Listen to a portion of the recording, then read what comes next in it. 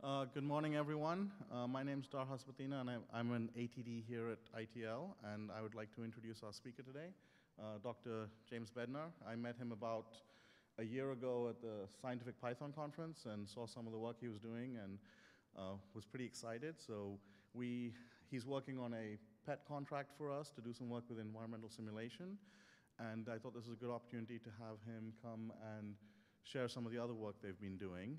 And uh, he has a PhD from UT Austin in computer science and was a faculty member in informatics at, uh, in Edinburgh for 10 years. And the last several years, he's been working for Anaconda Incorporated. And he's going to tell us about making cool stuff really quickly. So thank you for coming. Thank you, Darhas. Thanks for the invitation. Sound levels okay? Okay. Um, so first off, um, excuse me. Um, first off, uh, I'm wondering who is here. So, for instance, uh, how many people have ever programmed? Great. How many people have programmed in Python? Okay, how many people have not programmed in Python? Okay, so uh, of the people who programmed in Python, do you ever look at it or see it? Is there is there somebody who never sees Python and never cares about it? Okay, I'll keep you in mind for the talk then. It's all about you. Um, okay, because this is a, because uh, I have the same material, but I can either tell the story as if it's something you're about to use or as if it's a reason to jump ship and go to the Python ecosystem instead of whatever the heck you're using now. And so I'm going to mostly focus on these are things you could use in your own work. Um, so, um, and what I'm presenting is not a result, it's a workflow. It's a set of things together that I think could be useful, um, and hopefully it will let you make results.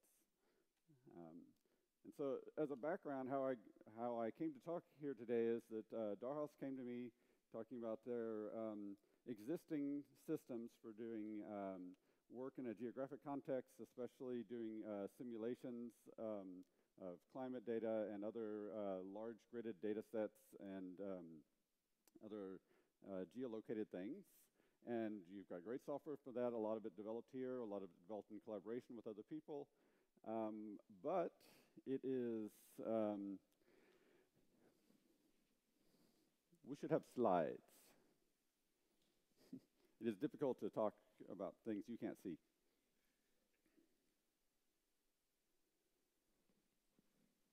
All right, that's better.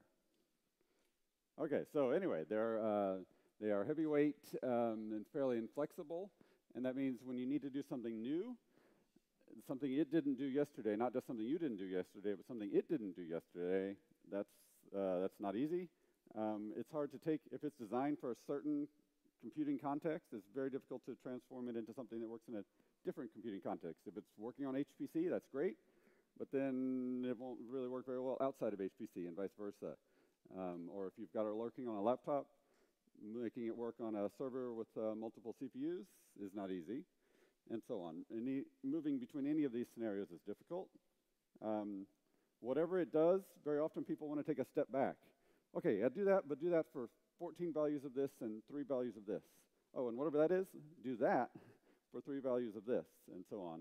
And it's very difficult to, uh, whatever system it is, if it's meant to be a certain thing, it's very difficult to step outside of it and control it in that way.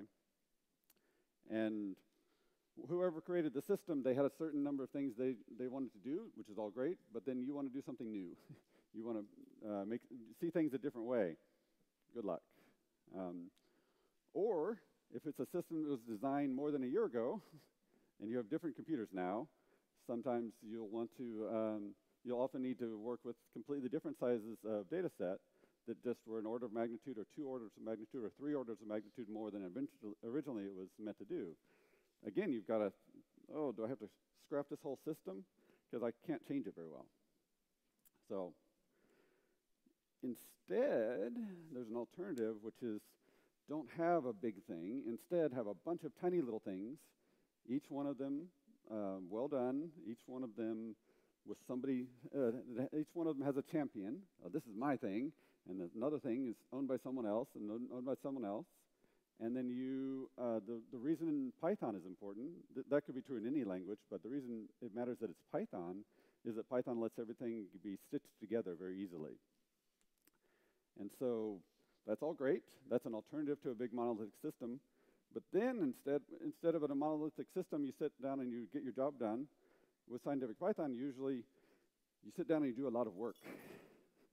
And you do a lot of programming and you put it all together and eventually you get your job done. And so that's, um, that's not very good, especially because the result of doing, the more work you do there, the more artifacts you have, the more code you have developed that you now have to maintain or throw away. it's, uh, it's now you've, instead of working hard and getting away from future work, now you've created future work for yourself. Opportunities, yes, but also future work. So, uh, I'm here to tell you a different way to do things. And it's not an easy, it, was, it's, it hasn't been easy to work out, but I think it is easy to use. So let, let's see about the alternative here. And you're going to be quizzed on this. You've got to memorize all of these libraries. Um, most of these libraries come from people who currently work at Continuum, now called Anaconda, uh, but not all of them. Um, these libraries are mostly, they're all maintained by different people. Well, I, I maintain that uh, four of them. I manage people who maintain four of them. And others are managed by other people in Continuum, and others are managed outside. But we make them all work well together. Everyone involved knows everyone else, and everyone uh, is able, when they find a problem with one library, to go to that person, talk to them as a human being, and figure out how to make things work. Um, and so uh, together, these libraries do a lot of the things that um, are not about whatever it is your particular domain area of expertise is. They do everything else. Whatever you're strong at, great, you do that. This is going to handle all the infrastructure around it in terms of shuffling data back and forth and getting it onto your screen so you can make a decision about something, which is hopefully something you know about. So there'll be uh, steps in the middle that we assume somebody else in this building will do. Uh, these libraries together add up to a workflow that basically goes from data to something that human eyeballs can look at and mess with. So, and I'll come back to each one of these uh, as they come up in the talk. So how many people in the audience have heard of one of these libraries? Two? Three? Four? All right, you guys, you guys are in business. Um, okay, so here's um, here's a sample task, and I um, and this focuses this is presented as a data science task. You can you can you could come at it a different way. Here I'm starting with a data set, and I'm going to say how do I get from that data set to my eyeballs. Um, but you can also, uh, in a simulation context, often you're the one generating the data. So you start to step back where you're um, uh, dialing up the, um, the parameters for the simulation that creates the data. This workflow works for either one, but I have to choose one, and, and it's a little easier if I focus on the data science uh, story. So in that story, you start with some data. You've got a chunk of data, and you're ready to do something with it. Um, first off, you have to get it on the screen, um, which involves a lot of steps. And then you need to, um, almost certainly, your data has more than a dimension or two, in which case it all, won't all fit on your screen. You're going to have some other things that might be important for the data you need to choose between to select or to adjust. So you, almost certainly you're going to need some widgets to be able to, to explore those spaces. Um, just because you don't have a 50-dimensional screen. You've only got a two-dimensional screen. And you often have 50-dimensional problems. And then once you've got that, you want to share it. You want to give it to somebody down the hall, somebody around the corner, somebody at a different site. You need to have it leave your hands, leave your own programming environment. It needs to be something other people can consume. So basically, it's and the idea is to go from data to decision, as I usually say. At some point, it becomes something people can interact with, and they interact with it. They make a decision, and then value is achieved. You've achieved something from having doing all of this work, right? It's got to start from the beginning and add up. So let's do that, and I'll do it during the talk. Um, uh, this is a Python notebook, anyway, by the way, that I'm running here. So um, I am in Python at the moment. Um, so uh, if you were to do that in Python, um, the way it would normally work is you'd get some prototype running. Often you'd start with the Jupyter notebook. I guess I didn't ask that. How many people use Jupyter notebooks? So not complete convergence across Python. Um, so you, uh, whenever you have a new type of visualization you want to see, you would probably work on it a while and build up some set of code that creates that visualization. Um, then you add some widgets, then you get something. And by the time you're done, you've got this, this thing in front of you. You can see it, but you can also see this code, and you can see the mapping between that code and this thing you're using, and it's kind of a mess. Um, as soon as you want to do anything with it, it, you, if you did it in a notebook, you, if you want to deploy it, you're going to have to do something else. Um, if you want to start over and visualize different aspects of it, completely different things, you're pretty much going to start over. If you want to do something that didn't just sort of fit in your easy laptop solution, you're probably going to start over. So this is all bad. Um, so here we'll say how to do it instead.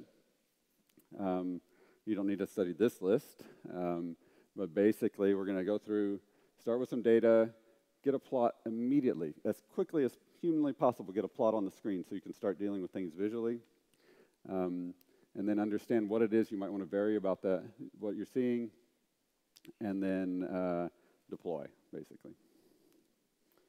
So uh, I will bore certain segments of the community by looking at uh, a boring data set, but uh, it's very easy to talk about. It's tangible. Um, it's uh, about 10 million points of just GPS locations of New York City taxis. Um, and we will uh, we'll be using, uh, this instant, we'll start out by using Parquet, Dask, and Numba, um, which is all done in the same line. Um, so what, what's happening here is, uh, actually, I, there's a notebook if I hit the uh, imports list, but there's an import list that explains that DD is Dask data frame, and uh, so ba basically, the Dask system allows you to read things in the file, uh, the Parquet format. The Parquet format is very nice for this type of data, which is columnar data that could be in a spreadsheet. Um, it, you can also load Xarray data if you have uh, gridded data sets, almost the same way here. Um, so let's say you've, you've loaded it, it loads it into a Dask data frame, and by default, that Dask data frame is all running on this one laptop right here but it could be distributed across processors, and none of the downstream code would care or know about it. So Dask will handle uh, basically distributing uh, chunks of uh, data and the computation that goes asso that's associated with them in a way that none of the, anything else you'll see cares about. So right now it's all running on laptop, but it doesn't have to. Um, okay, so we loaded some data, and this is what it looks like. It's a, a bunch of columns and a bunch of values in them. It's data.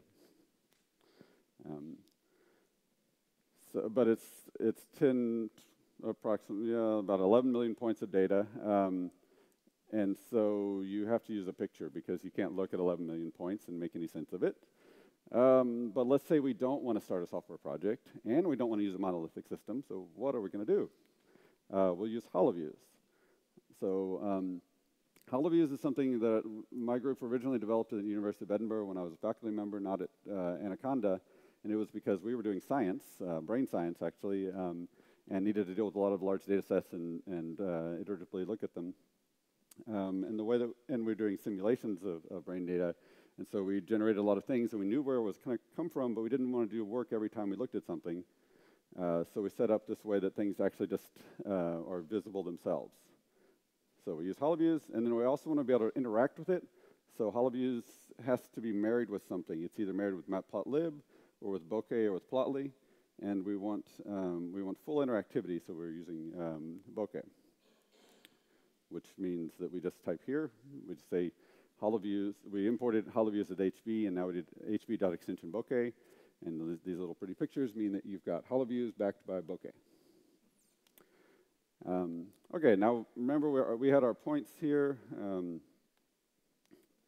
uh, here. So we, um, we created something called uh, DF, that's the data frame that we're storing our data in. And now let's uh, visualize it. So here's the code that it takes to visualize that data. Um, you pass, basically we have some columns and we want to say which columns we care about and what they sort of mean. And what we're saying here is that we're going to care about the uh, pickup locations of, this, of these taxi data this taxi data, and um, that those are going to be two numbers, okay, two, two scalar numbers, and alone, just knowing that isn't enough to plot anything. But if we further say that those are points on a two, in a 2D space, then it can immediately plot, be plotted. You don't need any other information other than knowing that you have a bunch of x coordinates and a bunch of y coordinates. That's sufficient to make a plot. Um, uh, in this case, it would be a plot with uh, 10 million points in it, and if I did not include the word decimate here, that would crash my browser, because I'm running Chrome here, and Chrome can handle 100,000 points.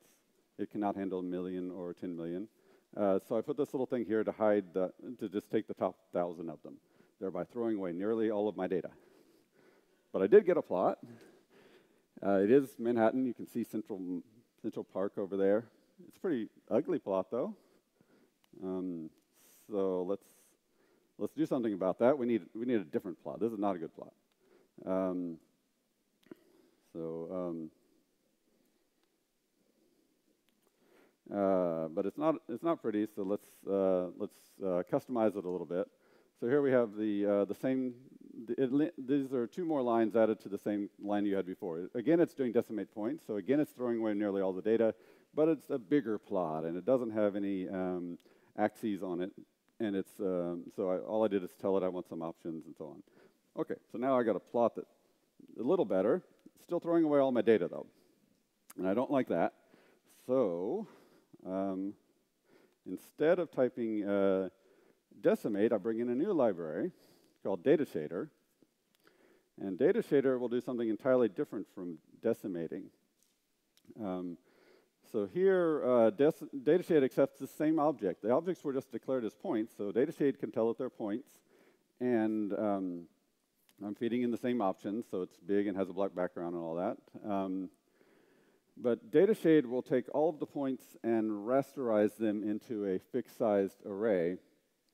Um, and uh, thereby make use of every single bit of the data. And so basically, You've got a set of pixels there. Associated with each pixel is a bin, and every taxi trip landed in one of those bins, and it accumulated by bin, and then maps those into a color. And uh, the result is that now I have a, um, a, uh, a, live um, way to look at the data that is always um, practical in a browser. So there's 10 million points, but those 10 million points are never sent to the browser.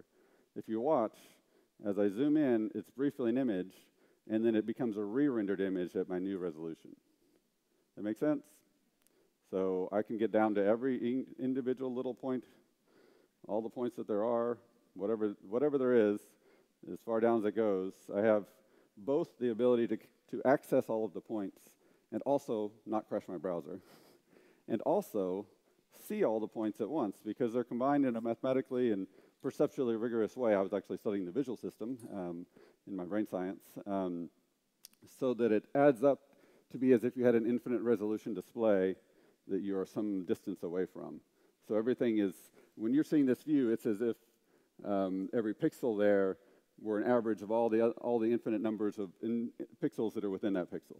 Hopefully that makes sense. Anyway, it's, it's defined in a way that it acts as if there's um, all the resolution you could ever need, and you just have to go and look, and you'll see the, the data. And you can see weird patterns in it. Those are all real patterns. They're, the, um, it really is granular in that way.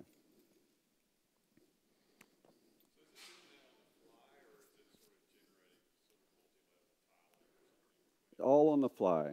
Um, we had a version, when we first started, we assumed we would need to do it with tiling, and we set all that up, and it was and we realized that our, the time we were taking to do all that tiling was actually dominating everything. Um, and I don't know if I, I still have it running, but I have a version that has a billion points will, will work live on a laptop in a second or so. So whenever you zoom in, it takes a second to get the new one uh, for a billion points. And beyond that, you'd probably want to use either tiling or distribution. But, it, but we actually had way more infrastructure than we just deleted it all and said, hey, this is actually fast enough. It's, so it's completely live, and it's also completely stupid because it's, um, even though um, this data set goes to here, and if I zoom into here and then zoom in again, it's going to go through the um, entire data set again. Here, if I zoom in one little bit, it goes through all 10 million points again. There's no spatial partitioning whatsoever. So um, it's not making use of all sorts of things we could do to speed it up. It, what's making it fast is Numba. Numba combined, so Dask is feeding out process, um, feeding out tasks to the four cores. Uh, I guess there are four cores on this. There are eight hyper-threaded, four regular real cores on this machine. Um, so it's dividing things by core. On each core, it's running code that was originally Python, but has been uh, just-in-time byte compiled down to machine code to run on each of the four cores. And the process of going through that is just, it's, it's doing something really dumb. It's just going through all of the data and accumulating it, and it just needs to make a pass through the data to do that. And it's able to do that very quickly. And uh, so Python doesn't get in your way because not, it quickly just drops down to machine code for that. So, um, and this right here, this is points. You can do um, uh, lines. When you're doing uh, gridded data, it's effectively re-gridding or re-rasterization. No matter what you give to it, Datashader will raster it. So, will rasterize it, sorry. Okay, so um, immediately with Node, I mean, I just had to type the word data shade instead of um, uh, decimate. When I put X sampling, that just determines what happens when I zoom in really far. So if I take that out, um, I, don't, I, don't, know what's going to happen. Uh, if I zoom in very far, eventually the points become too hard to see. So that define, basically the, that parameter just gives me a minimum size that if I zoom in enough, it's never going to zoom in any further. Uh, at the moment, if you zoom in enough, I don't know if you can't, you probably can't see anything on there.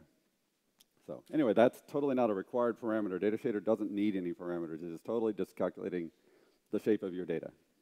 There are things you can change about it, but it doesn't need it just to reveal what it is.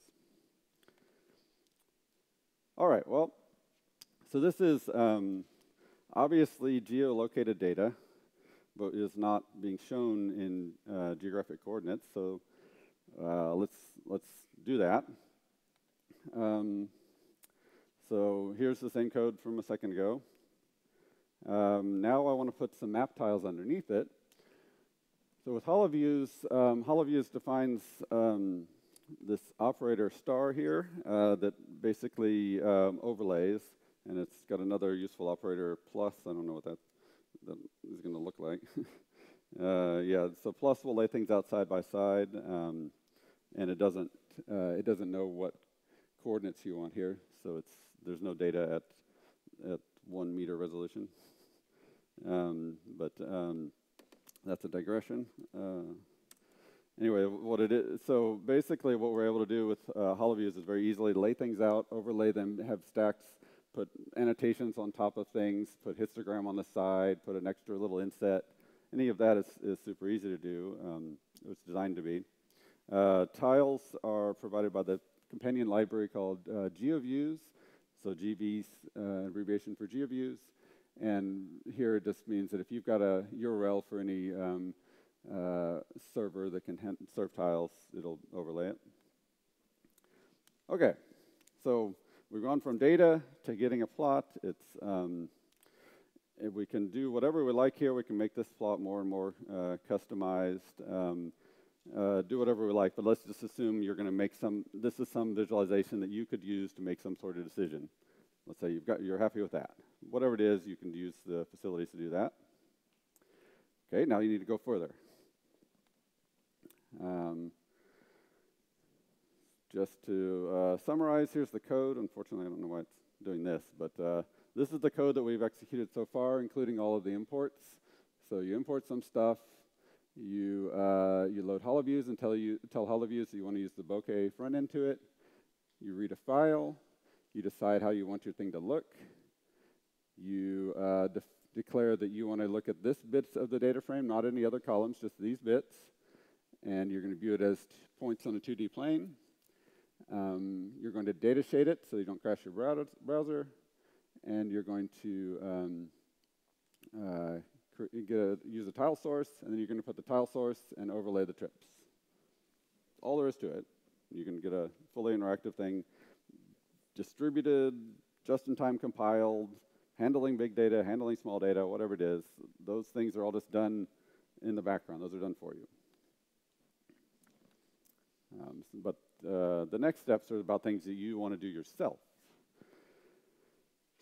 So um, often at this point, you've got something you want to pull somebody over and you want to show them. You want to share something at, right at this point. As soon as you have something that looks pretty to you, that looks like something you might want to use, um, so you want to define some variables or some parameters that somebody somebody could mess with. Um, they can already zoom in, but you want to you want to say parameterized by hour or something like that. I don't know. Um, so uh, let's declare some um, parameters that um, that people can use. In this case, um, maybe they don't want to see the background map, or maybe they do, or maybe they want a dark background map. So let's give them a knob. Uh, we need, people need to be able to choose between full-strength colored map or no map at all, or anywhere in between. So we'll, we'll give them an alpha parameter for that, varies from 0 to 1. We will let them choose between, um, these are all, this is a small number of parameters, but each one is trying to illustrate something completely different. The first one is let them choose something about the plot. Uh, confusingly, the second one says plot, but it's, uh, it's about choosing what you want to plot. Uh, the first one is just about the visualization, alpha, but this one is about do you want to plot uh, pickups or drop-offs? And those are going to be different columns in your data frame. And so you're deciding uh, what it is that you're going to visualize. Not the first one is how to visualize it. The second one is what to visualize. Um, the third one is another type of um, uh, how to visualize it. What color map do you want to use? And then let's say you want to do some filtering.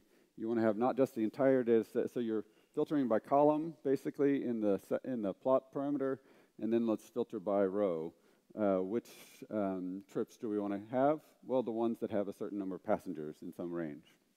So these are a lot of the types of things you want to do with a data set to decide what it is you're going to see at any time. And, um, but what we've done here actually, um, we declare these, uh, this, this is um, declared as parameters using the param library. The param library allows you to declare your parameters without saying any word about widgets. There's no dependency on any graphical toolkit at this point. It doesn't require you to know that you want to display things as IPy widgets or that you might want to display it as JavaScript widgets in a Leaflet app, uh, whatever it is um, you don't declare it at this point. You only declare what it is about your own domain that you care about. You care about passengers. You don't care about um, particular GUI libraries. And so it allows you to capture that, and that's uh, and you can capture that wherever it appears in your hierarchy of your system. If, if you've got some object, you can label it right there with the parameters. You don't have to think about whether that object is going to be part of a GUI app or part of a massive supercomputer run. That, that's irrelevant at this point. You just need to capture what your domain is like and then you can uh, use it. So we can use those in ways that have nothing to do with widgets, like in this case, um, let's just look at the value for alpha. Well, it's a Python attribute.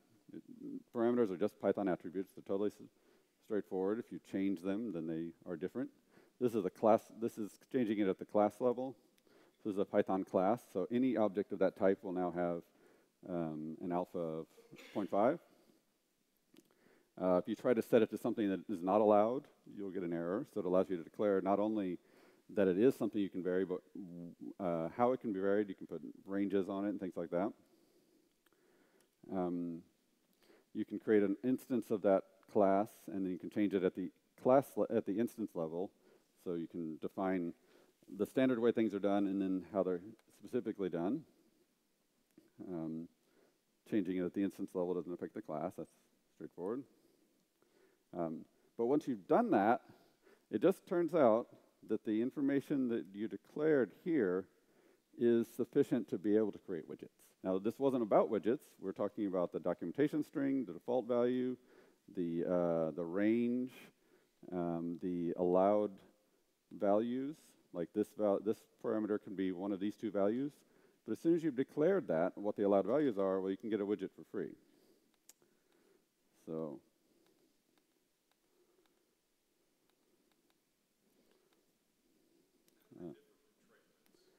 Um, that's a very good question. So IPy widgets are built on traitlets. Um, the param library is very similar to traitlets. It's, um, it predates traitlets by about six years.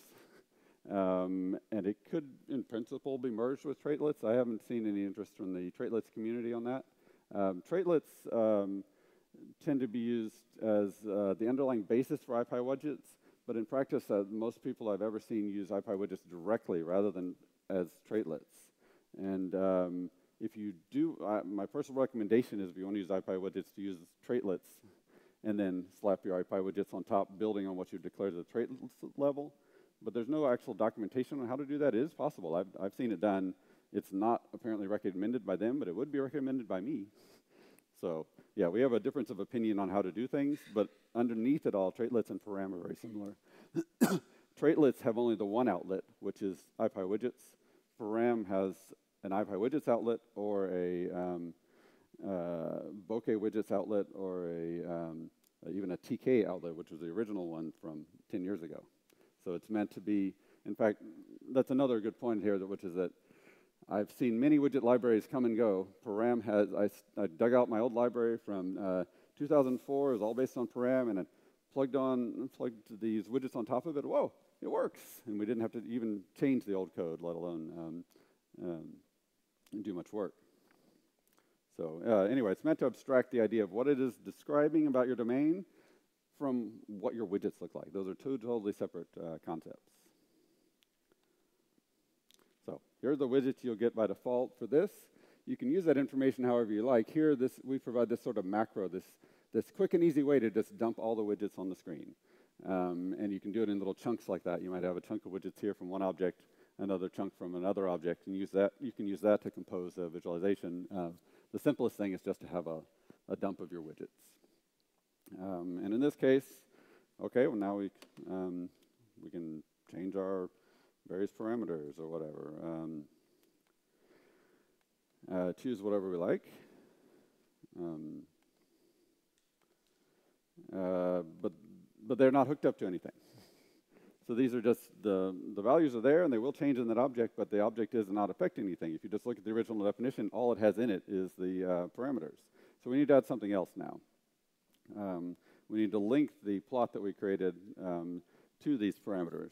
And there are a lot of ways to do that, but one obvious way is if those were declared in a class, then you can make a method that reads the values from the class. And so if it's alpha, just, it'll just be read as self.alpha. It's just parameters and traitlets both are just normal Python attributes.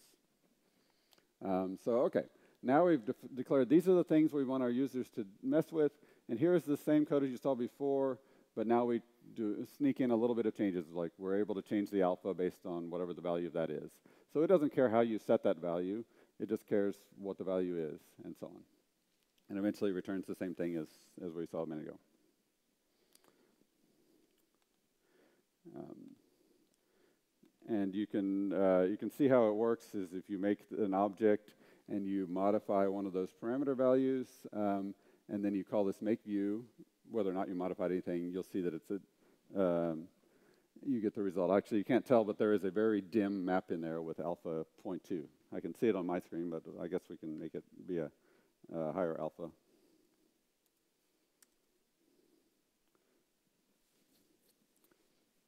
Okay, now you can see it. So um, basically, you can mess with those parameters by hand if you want. But why would you do that? Well, you might want to do that because you might want to run a whole bunch of code, uh, the, the same code 100 different times. So because it's not tied to any widgets at this point, you can just do what you like with it. You can parameterize this. Uh, you can do a parameter sweep over this, no problem.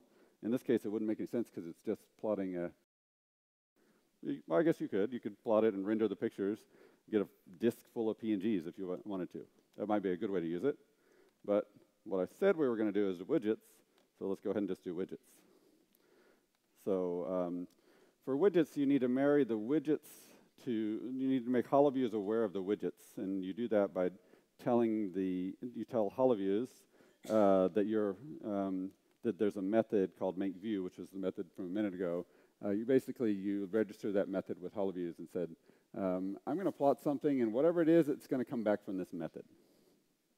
So I don't know what's going to come back, but whatever it is, it's going to come back from that method. So when I need to show something, like I do when I'm asked to render a plot here, um, it's going to come back from that method. So now um, you can um, uh, have a, you can have the parameters, you can have the associated plot, um, and uh, you've got something that, in, at least in your um, in your browser, is a is a unit of things that can be changed um, about something you care about. All right. So far, so good. We were able to get a plot pretty quickly. It handled big data pretty quickly. It runs quickly. I can quickly get some parameters associated with it. I can combine those together. Um, and now I want to share it.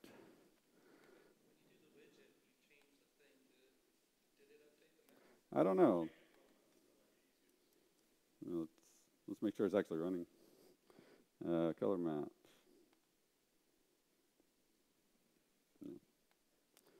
Um, uh, maybe as a good aside here, um, uh, notice that this is, I haven't told it anything special. It doesn't know that some of these parameters are about the plot and some are about the uh, underlying data. So whenever I drag this here, um, it's going to data shade everything. So when I drag the alpha, it's going to go through 10 million points to get my new picture, even though um, the new picture doesn't change, doesn't depend on the data at all. It depends on the color map, which is the last stage after the data. And so that can actually, in fact, this is the color map of the map tiles.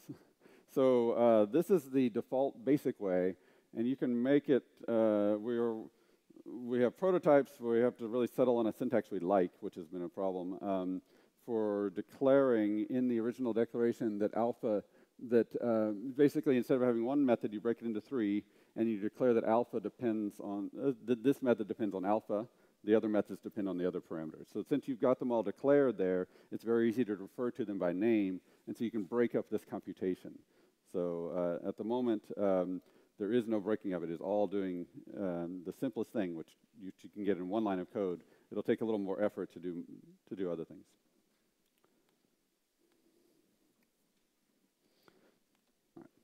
Make sense?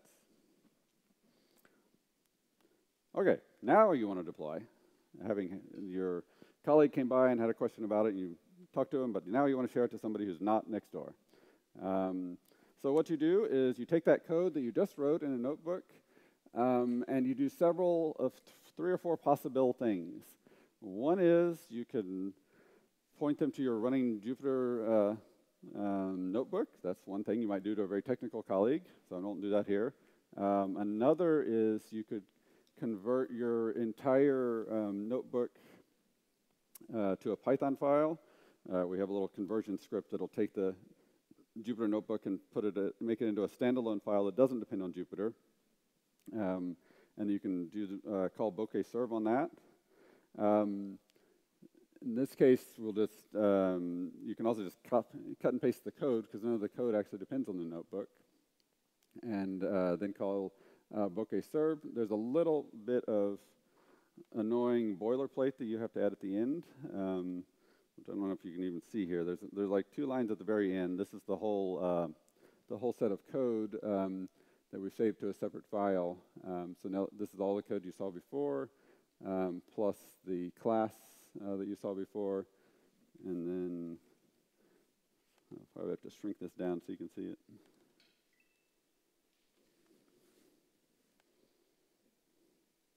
Okay. Uh, so we have, uh, we have a little bit of code which effectively all it does is tell the Bokeh server what you wanted to render out of everything. There are a bunch of HoloViews objects in this slide deck. Um, and you, if you were to tell it to serve that, it wouldn't know what to serve. You have to basically anoint one as the thing to serve or one layout of them. It can be a complicated combination of things, but whatever it is, you have to say, this is the thing uh, to serve. And, um, and that's what we do here.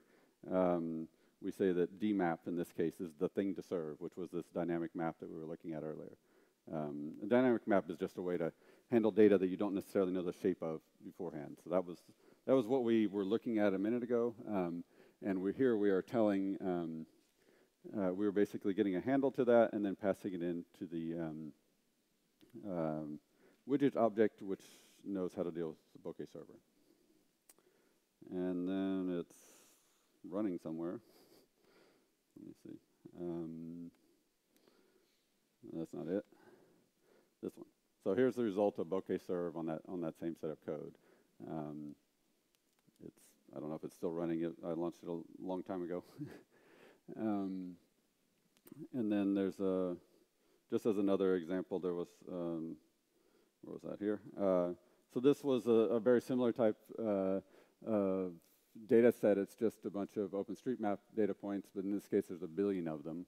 Uh, you can do it the same way. I mean, it's, uh, I really don't know if that's still running. Um, if it was, it was almost certainly swapped out to disk. So um, we can see look, the map tiles are updating anyway. It'll take a while uh, the first time. I think I, I, showed this to some of you yesterday, um, uh, but then after that,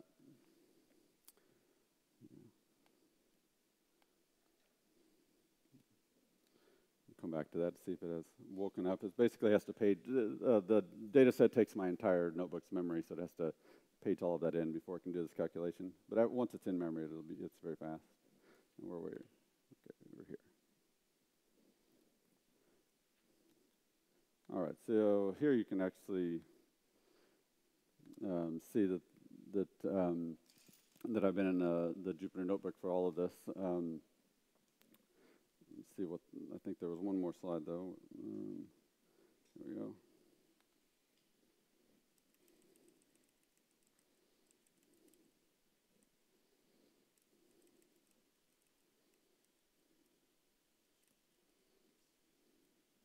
All right. Um, oh, ignore all that. Uh, okay. Um, one. Um, what I showed you was Bokeh Server. Um, the reason I showed you is that Bokeh Server works well. Uh, there's also a uh, project called Jupyter Dashboard Server. What that's promising you is something I would very much like to have, but you can't have it today, which is Jupyter Dashboard Server lets you take the notebook, lets you graphically select some of the cells and say, these are the anointed cells, and you drag them to a display and you lay them out and say, this is my dashboard. And then you launch that as a separate, um, um,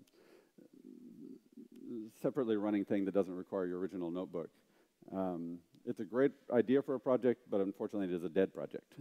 it has been shelved and is not, you can download it, you can run it, and you can, you can do that. So it's a great way if you want to try things out but it has no future at the moment. There's no one who's maintaining it, and there's it doesn't work. With, you have to make sure to put, pin things to a lot of old versions, and uh, you get all sorts of errors. I don't, I don't, recommend it, but it's a great idea. I think that we're going to get to that. Um, right now, what we have is Bokeh Server, which is very mature, very well supported, but does not have this drag and drop layout that I'd love to have. Um, just to quickly get something to share. What Bokeh Server will do, though, it will serve things that um, if you really care a lot about the layout and you really want to build an app, you can make a customized HTML template to do whatever the, it is that you want. And the, the bokeh plots will show up at the right spots in there. Um, and so Bokeh Server can give you complete control. It doesn't give you complete um, ease of use like Jupyter Dashboard, Dashboard Server should. Um, also, the, uh, the param library involved is very old. I think it's the first library that we did that's still in current use. Um, uh, param, but all of the different things that come on top of it, uh, we only make those as nice as they need to be because we know that they're going to go away. there will be a new toolkit. Um, at the moment, uh, I'm about to abandon ParamNB. b basically is the marriage of Param and IPy widgets. IPy widgets are great sometimes, and often they are not great. And it has all sorts of uh, errors on JavaScript console, all sorts of errors in your notebook that you'll have, incompatibilities, and it's driving us crazy, so we're only going to use Bokeh, Param Bokeh for the moment, um, which uses uh, all the same declarations. You just change the word bokeh to inb when you're um, importing it. Um, but anyway, it, it is not uh, it's the least polished of any of the solutions you'll see here. Datashader is very solid. It does what it does super fast, and it's going to keep doing that. Um, Dask does what it does super well. Numba does what it does super well. Um, uh, HoloViews is very uh, solid and um, mature and covers a lot of ground. It's all built on Bokeh, which is also very solid and mature. Um, the widget stuff is the stuff that we're trying to actively work on right now to make putting all this together, adding widgets and adding dashboard and building into dashboards, that part is what we're focusing on as the weak link right now. And so there's a lot of churn there. There's a lot of uh, edits to those files this morning. There will be tomorrow and so on. So that's the part where it's more bleeding edge. The other components of this workflow that I showed you are all quite uh, mature and usable. Anyway, I guess that's all I have uh, at the moment, which is to uh, just say that you can go from data to a dashboard, a widgety kind of thing where you've laid things out um, and you've been able to share them with people. And it really is, that was, it's 30 lines uh, of code to do the full thing. Um, it's, uh, it's very flexible. So it's a way to, uh, instead of having a, and, and it's meant not to be a software development project. It's meant to be, I've got some data and I, and I need to make it come out. Or I've got some uh, simulator, I'm going to have some parameters, and I will get some data out of it, and then it's basically the same workflow as here. Can you go back to the OpenStreetMap global data set? See if that works. Oh. See. Oh, looks like it woke up. It might have gone to sleep again now, but uh, so basically, it'll um, the Mac's uh, memory management is very aggressive at uh, swapping things out. So um, okay, so at the moment, this is the this is the one billion point uh, data set, and like I said before, no matter how much I've zoomed in, if I want to zoom in a little more, it's processing all billion points again, which is utterly stupid, but it's, it is what it is because it's a it's a data frame basically, and it doesn't have any idea what order it's in. It doesn't have, make any assumption that it's even sorted in any way, and it's a, a data frame as a 1D structure. These things have 2D locations, so it's actually fairly difficult to decide how you're going to sort it. And so we need a data structure that's um, arranged in 2D, but as soon as you have that, then you basically can have enormous amounts of data and not care about any of it except what you're looking at.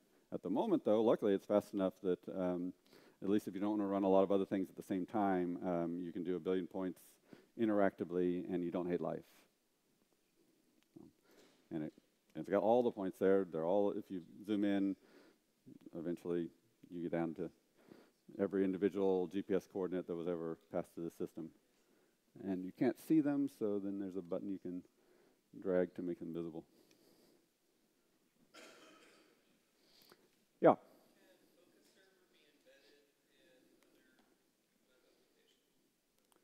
Well, you can serve things and then you can iframe them into other things. That's, that's the cheap and easy answer. Uh, otherwise, you have to be more specific about what you want to embed it in. Um, there's not a lot that's specific. So you don't even have to use Bokeh Server for this uh, if you don't want to deal with large data because you can just put all of the data in your web page. Basically, Bokeh will turn Python into static JavaScript and HTML very happily and HoloViews will, will let you do that, no problem. It's just that all of your data is now going to your browser, and that better be okay. If it's not, you're going to have to be backed by a server. And if you're backed by a server, you need communication channels between the Python and the JavaScript. Bokeh Server is one place we have those communication channels. Jupyter Notebook is another place we have them. We were just talking about, can we set them up in Django? Yes, yes. You just need some bidirectional communication channel, and if you have that, then the rest is all, is all easy. So uh, depends on the context, but surely yes. May, uh, how hard is it? it depends exactly what it is.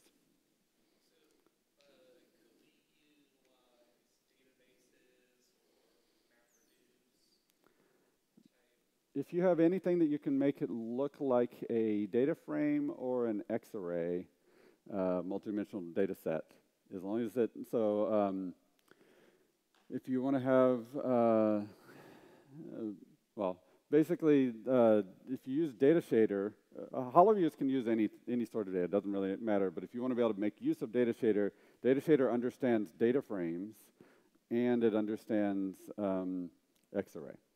So it, whatever it is, if it can be made to view as one of those things. Uh, so for data frames, it has two supported kinds, uh, Pandas data frame and Dask data frame, and Pandas code is 30 lines. Uh, Dask code is 100 and some odd lines. So adding a new type of data frame where you have an abstraction over distributed data, is, if it's a sane system, should be a relatively small um, addition to that. So, it, and, it's, and it's designed a, using something called multi-dispatch, which lets you add in new backends to it without changing the code that we ship. So there, there could be people who right now are having other backends and we need not know about it. But that, that is a programming exercise. This is meant to be put it together nicely for data science. Doing, uh, building a backend like that is definitely, you're going to need a real programmer.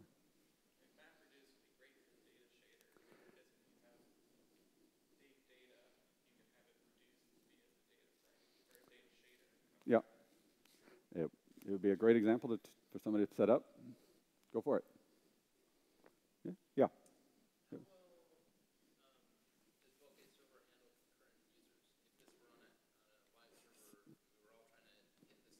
Yeah. So um, Server uh, has a nice setup with uh, Nginx um, to do that um, replication. Um, I don't, I don't know the details myself. I haven't tried it, but um, uh, people have deployed Bokeh Server to certain numbers of simultaneous users using Nginx, and they said it was fine. I really haven't followed up on how, how fine it was.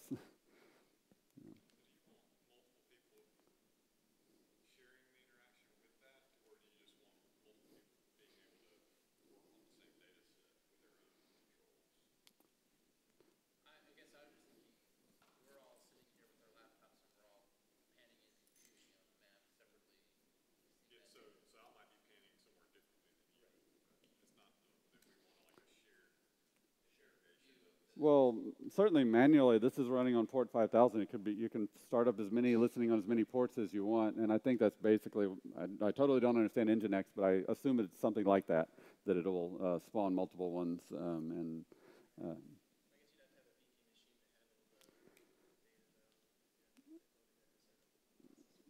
yeah, and you can spawn these on multiple machines and whatever you feel like. Uh, but it but it is a good point that this is um, this is not immediately set up to make it easy to serve things to the American public. So if you wanted people to be able to use this data set like this to explore Hurricane Irma or whatever, this is it's going to take work. You have to marry this with some other system that can handle the load balancing and dynamically spinning up and, and spinning down. Uh, systems like that exist and they will marry with this nicely, but I don't have an example and that, that it is a project that you would have to do. This is meant to be you and a certain number of people you can think of, no problem sharing. Beyond that, uh, if it's just widespread public, that's going to be a lot of computational cost. Somebody's going to have to pay for that. You're going to have to have a model of that um, as a project. Yes?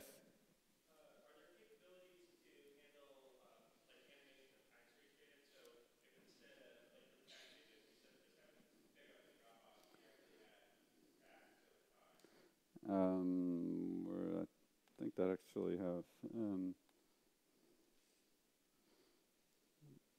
oh, where was? I had. Maybe I closed it. Um, so I had a, a, version showing that. Um, so the answer. Oh, oh, here. So you can. There's a trivial. Um, if you want something that's just tied to a particular um, widget, you can drag that widget and it'll animate things over time. And in this case, it's going to have to page back in after filling it with OpenStreetMap data.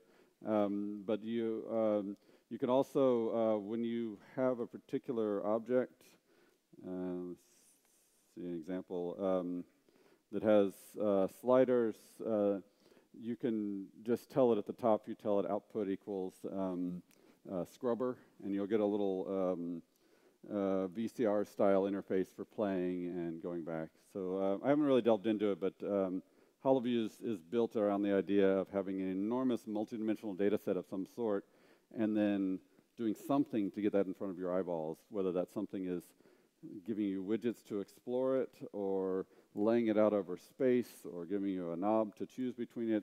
it you declare to HoloViews all of your data and it will let you aggregate it down, slice it, whatever you feel like. It's very flexible in that, and having a that would be an entirely different talk where I tried to do. So HoloViews is one component of this talk, um, but it could easily be its own talk, uh, saying, okay, I've got my data. Now, what are all the flexible, cool ways I can slice and dice it? Uh, to see that, go to holoviews.org or geoviews.org.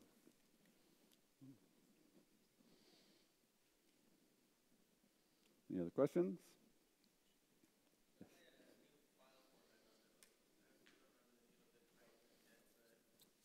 Parquet? That's an Apache format.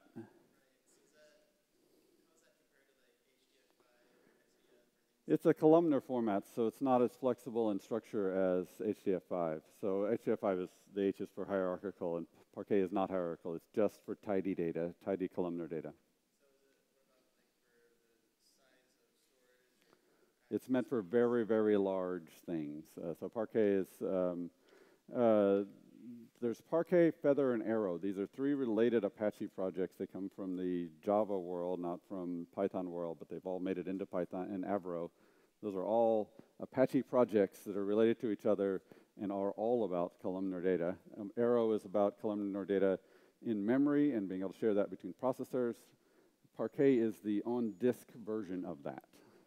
Um, so it's, uh, anyway, we, did, a, if you look at Datashader's website, there's, a, there's an issue about benchmarking different file formats, and we benchmarked 12 different columnar file formats, and they all were bad, except for uh, Parquet and one oh, no longer supported one called bcolz. Uh, everything else had at least a factor of 10 worse performance. And so, okay, well, we're going to use this one. uh, it really matters a lot. Um, and for um, gridded multidimensional data sets, array, uh, Xarray has had as good a performance as anything we've seen, and it, that's based on NetCDF, which is based on HDF. So, uh, I'm sure there are ways to do better, but not in the libraries we're able to get a hold of and, and do testing on. So uh, HoloView supports Xarray and Iris uh, cubes for that purpose. Um, I don't, yeah, I can't think of anything else that's, uh, that's in the hierarchical sphere. Um, in the back there, I think.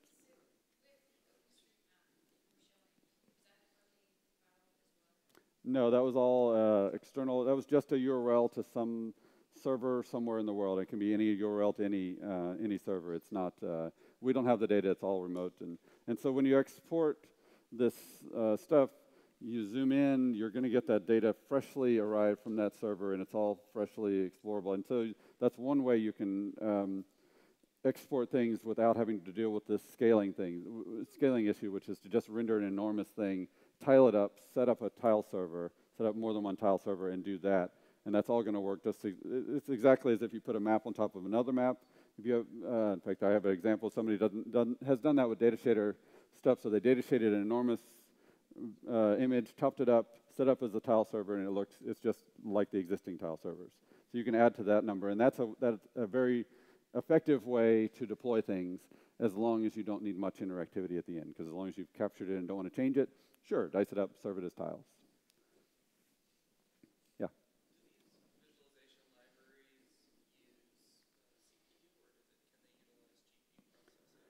At the moment, all of this is CPU. It's all local here on this uh, this CPU's here. Um, but uh, like I said, it, we'll we support two data frames without very much work. We could add another. And there's a project in Anaconda to do a GPU data frame uh, funded by NVIDIA and MapD. And um, it's meant to present a data frame interface, but with all the data stored on the GPU. So um, as soon as that's ready, it's already mainly not buggy, is what I heard last week. Uh, as soon as it is quite not buggy, uh, we're ready to try it out and uh, attach that to Data Datashader. Um, but that's only for the visualization portion. If you had a simulator in your workflow here, it would be a separate issue to, to parallelize that or put that on the GPU or so on. And that's in a simulator-based workflow, that's likely to be your bottleneck rather than the visualization. So yes, we'll try it out. Uh, it may not solve that many problems, but we will do it. And that's, that's where the name Datashader came from. Originally, it's from the idea of graphics shading, turning stuff into pixels. That's what it does.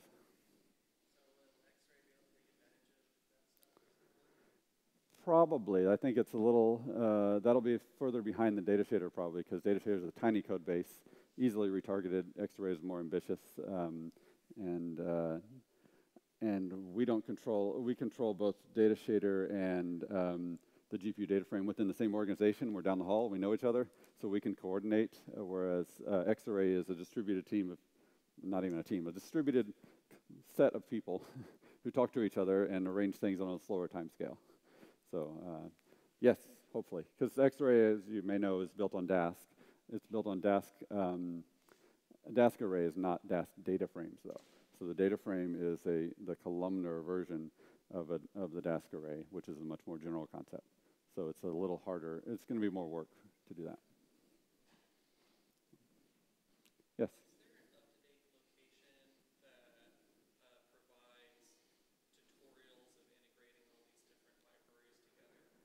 I guess I should have mentioned that. So, um, what I gave today was a microcosm uh, of the tutorial we gave at JupyterCon. It's a four-hour tutorial um, that basically, uh, during that tutorial, the first 45 minutes of it was this talk. Um, and so I, I went quickly through showing everything just like I showed you, and then the rest, there's three hours of, okay, now everybody, open your laptops and do it step by step, and we're going to go through every little step in detail. And so that's all available. Um, the URL is, I'm not up there anymore. Um, um, if you search for JupyterCon GitHub and my name, it'll probably show up. Um, but uh, we will send around a list of links anyway to these notebooks and things like that. So there's there's this talk which will be in there, so you can run through this talk exactly as it is. It's, it is a runnable notebook, but then you can also run through the 12 different notebooks that, that form this tutorial. We're still coming, trying to come up with a name for this whole collection of HoloViews, Bokeh, and Datashader to solve graphics problems, uh, solve visualizations problems, because there are three libraries that are all really tightly tied together to, to make things happen. So.